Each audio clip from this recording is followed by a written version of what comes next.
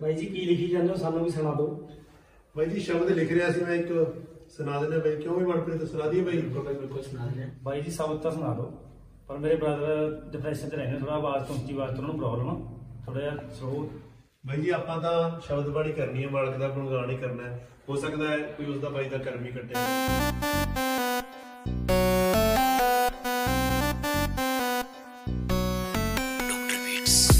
ਤਾਂ ਨਹੀਂ ਪ੍ਰੇਮੀ ਸਾਰੇ ਰੱਬ ਤੈਨੂੰ ਮੰਨਦੇ। ਉਡੀਕਦੇ ਹੀ ਰਹਿੰਦੇ ਕਦੋਂ ਦਰਸ਼ ਹੋਣੇ ਚੰਨ ਦੇ ਦਰਸ਼ ਹੋਣੇ ਚੰਨ ਦੇ ਐਵੇਂ ਤਾਂ ਨਹੀਂ ਪ੍ਰੇਮੀ ਸਾਰੇ ਰੱਬ ਤੈਨੂੰ ਮੰਨਦੇ। ਉਡੀਕਦੇ ਹੀ ਰਹਿੰਦੇ ਕਦੋਂ ਦਰਸ਼ ਹੋਣੇ ਚੰਨ ਦੇ ਸਾਰੇ ਜੱਗ ਵਿੱਚ ਐਮਐਸ ਦੀ ਮਸ਼ਹੂਰ ਐਮਐਸ ਦੀ ਮਸ਼ਹੂਰ ਏ।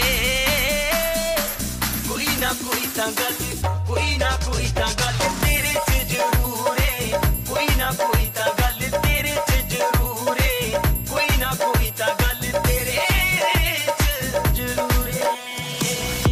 ਗਿਆ ਪ੍ਰੇਮੀਆਂ ਨੂੰ ਦੋ ਜਗ ਵਾਲੀਏ।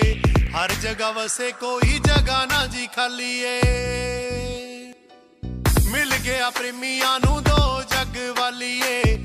ਹਰ ਜਗ੍ਹਾ ਵਸੇ, ਕੋਈ ਜਗ੍ਹਾ ਨਾ ਜੀ ਖਾਲੀ ਏ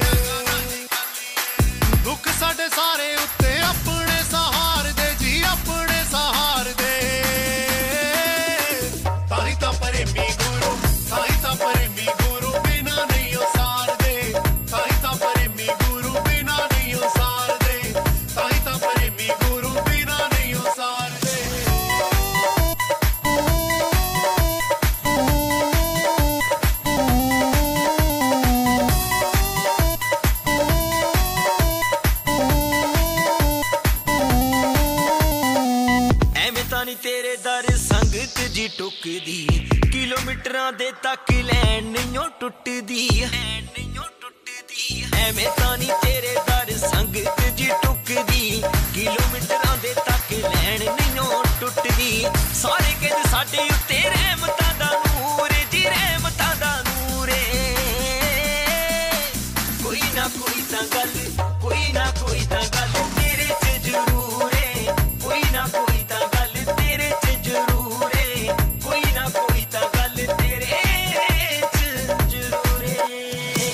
ਸੰਗਤ ਨੂੰ ਸੱਚੇ ਸੌਦੇ ਮਿਲੇ ਆ ਜੀ ਸਭ ਏ। ਲੋਕੀ ਰੱਬ ਲੱਭਦੇ ਨੇ, ਸਾਡਾ ਇਹੀ ਰੱਬ ਏ।